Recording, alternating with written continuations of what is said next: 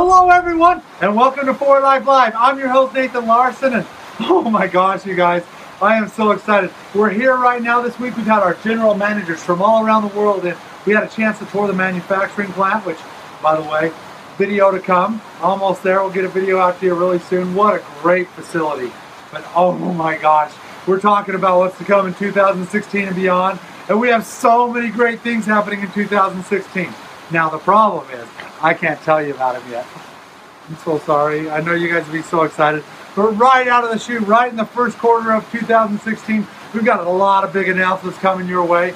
I can't wait for you to hear about them. This is going to be a little teaser episode of 4Life Live. We're going to keep it short and sweet because I just wanted to tease you and let you know the great things that are happening. So prime up your business right now. Get everyone ready to go because man alive, it's 2016 going to be amazing.